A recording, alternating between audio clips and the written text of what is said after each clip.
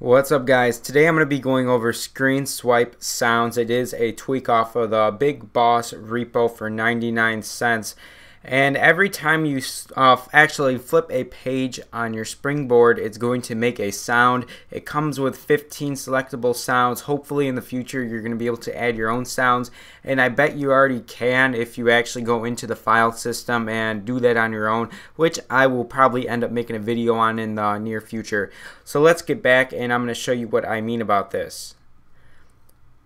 I'm going to have to show you right now when I flip back. Watch this.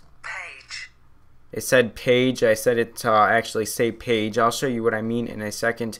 If we go down into our settings, it's going to be called swipe screen swipe sounds. You'll have to enable it and then you'll be able to choose your volume. So if you don't want it too loud or too low, you're going to be able to set the volume just right.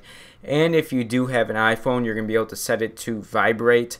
And here is the sound and basically we have 15 sounds in here. And what I really like about this is that they do give you a preview prior to actually um, going and flipping a page. So watch this. And that was bubbles. You heard that. And now let's try door. And you hear a little preview. So let's try something such as giggle.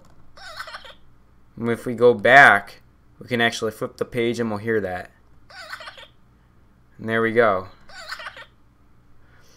And we have other sounds like God, love, nudge. I'll show you some of them. God. I.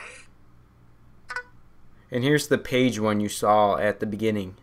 Page. And it's also in a male voice. Page. And we have a bunch of other ones, but I don't really think there's a need to spoil them for you because you guys are going to download it and hear them anyways. So anyways guys, tell me what you think in the comments below. Remember to like, comment, and subscribe. And I will see you guys in the next one.